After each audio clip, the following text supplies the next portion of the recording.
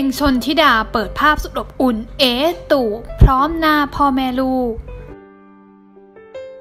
เดินทางสายการเมืองตามอดีตสามีเอชนสวัสดิ์อัศวะเหมแบบเต็มตัวสำหรับอดีตนักร้องรุ่นใหญ่ตู่นันทิดาแก้วบัวสาย โดยปัจจุบันตู่นั้นเข้ารับตำแหน่งนายกอบจสมุทรปราการ เริ่มต้นทำงานได้ร่วมเดือนแล้วค่ะ พร้อมใจพัฒนาจังหวัดสมุทรปราการอย่างเต็มที่